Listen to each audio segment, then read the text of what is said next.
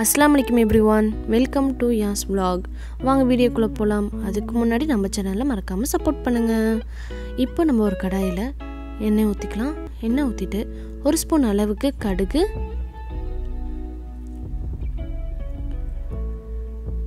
அப்புறம் ரெண்டு காஞ்ச மிளகா.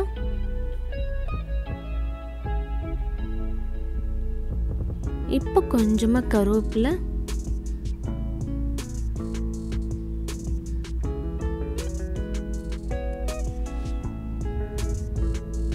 இப்போ ஒரு கால் கிலோ அளவுக்கு அதை விட கம்மியாக தான் இருக்கும். ஒரு வெ சாம்பார் வெங்காயம். நீங்கள் பெரிய வெங்காயம் போடாதீங்க.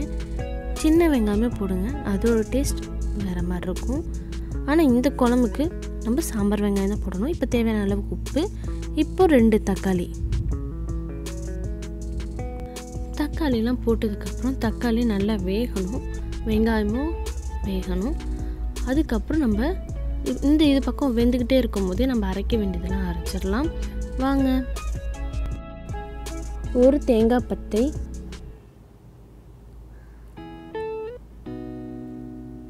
ஒரு ஸ்பூன் ஜீரகம் ஒரு ஸ்பூன் மிளகு. இதில் சோம்பும் சேர்த்துக்கணும். என்கிட்ட சோம்பு இல்லை.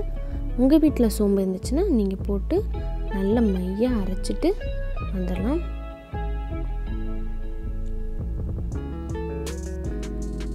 இப்போது நல்ல மையை அரைச்சாச்சு. இப்போ ஓப்பன் பண்ணி பார்க்கலாம். தக்காளிலாம் நல்லா வெந்துருச்சு. இப்போ நம்ம சேர்க்க வேண்டிய மசாலாலாம் சேர்த்துக்கலாம். ஒரு ஸ்பூன் மிளகாய்த்தூள்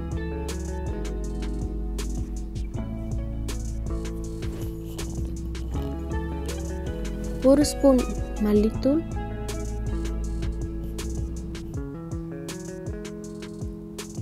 இப்போ இது எல்லாமே நல்லா வதக்கி விட்டுறலாம்.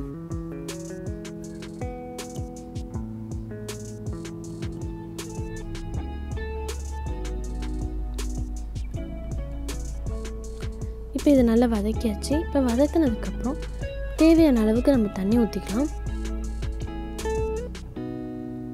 உங்களுக்கு எவ்வளோ குழம்பு தேவையோ அவ்வளோ நீங்கள் தண்ணியை ஊற்றிக்கோங்க ஏன்னா நம்ம வந்து அரைச்ச தேங்காவை நம்ம சேர்த்து சேர்க்கறதுனால குழம்பு எப்படி இருந்தாலும் திக்காக தான் வரும். அதனால உங்களுக்கு தேவையான அளவுக்கு தண்ணி ஊற்றிக்கோங்க இப்போ இது நல்லா கொதி வரணும். கொதி வந்ததுக்கப்புறம் இப்போ நம்ம அரைச்சி வச்சுருந்தோம் இல்லையா? அதை சேர்த்துக்கலாம்.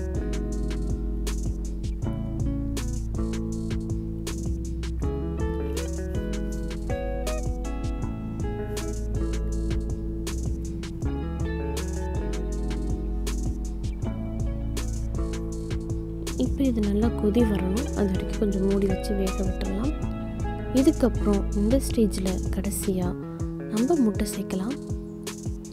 நாலு முட்டை சேர்க்குறேன். முட்டையை சேர்த்ததுக்கப்புறம் கிண்டி விட்டுறாதீங்க. கிண்டி விட்டிங்கன்னா குழம்போட குழம்பா முட்டை ஆயிரும்.